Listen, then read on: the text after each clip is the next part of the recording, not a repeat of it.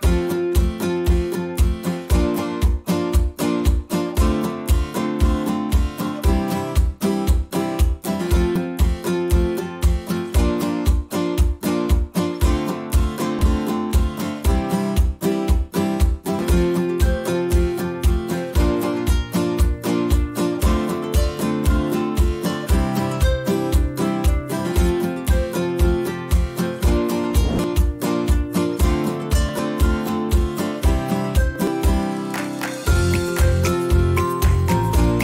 Related personnel wear panic button and deploy Bluetooth beacon indoors. A panic button has an RFID or NFC built in and periodically reports location information to facilitate the personnel location.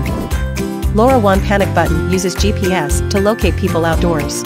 For example, when the site personnel into the non-work area, the management can timely obtain this information and deal with it. Moreover, when the construction site personnel encounter an emergency, they can also use the emergency button to alarm the SOS. GPS and Bluetooth are required in some scenarios, such as tracking the elderly in nursing homes. The panic button periodically reports their location.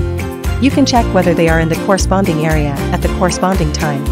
When they encounters an emergency, the SOS alarm can be used.